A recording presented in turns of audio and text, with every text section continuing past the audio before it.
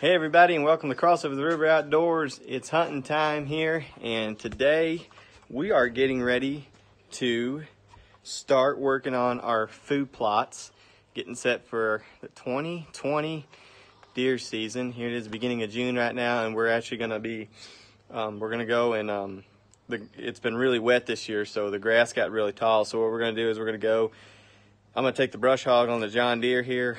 I'm going to brush hog a couple spots down, get the grass short, and then later on we're going to go in there and work the ground up, and then we'll plant our food plots. We got a good stretch of dry weather, so today we're going to mow hay as well. So also our hay field's part of our food plots as well. So let's go do it. Here we go.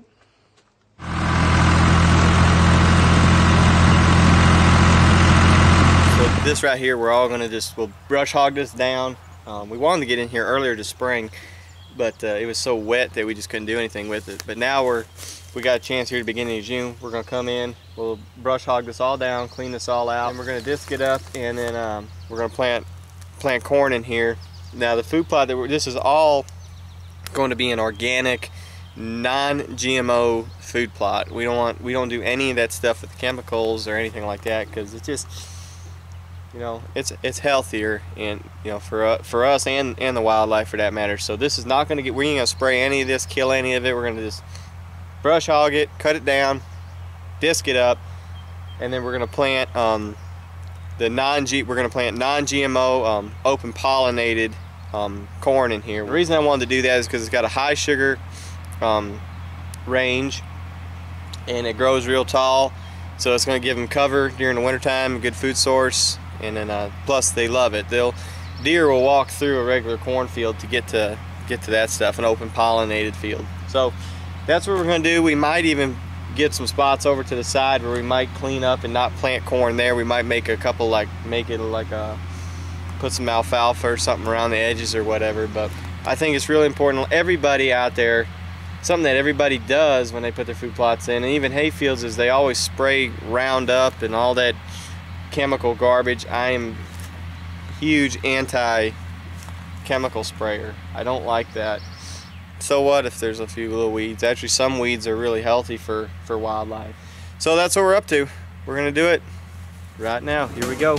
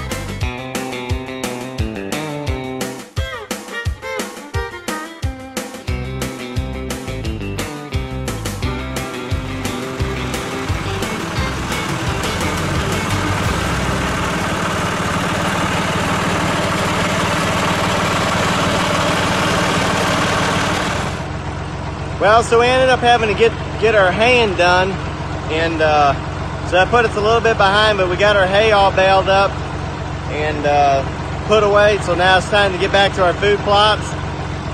It's uh, Tuesday right now, which was actually good that we waited because the ground was pretty moist still where we wanted to plant, and it's drying up a little bit. So it's time to get after it. We're going to start digging it up and put it in. So here we go. We got the old school drag right behind me. So here we go.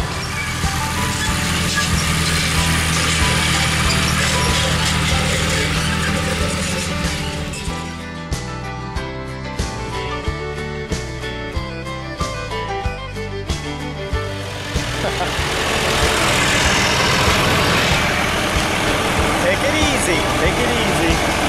Little John Deere can't handle a little bit of tough work. Or maybe she just can't handle some of the stuff I put her through. Hey, like I said earlier, this ain't the Lakosky farm or anything like that. This is true blue, everyday hunter. We're doing what we have to do. Wrecking tractors just to get some corn in for the deer. We'll do what we gotta do.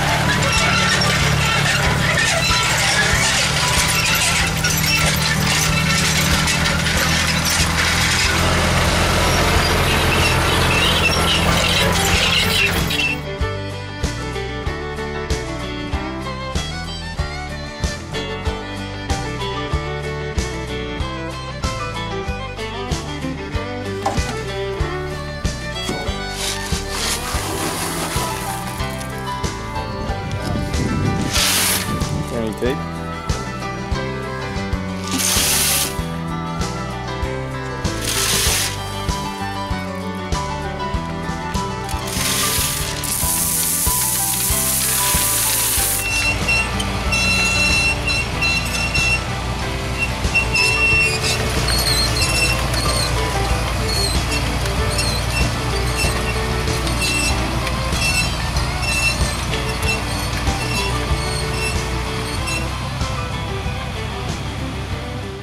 Right, so we have got it all done, and uh, now we just gotta let it grow, see what it does.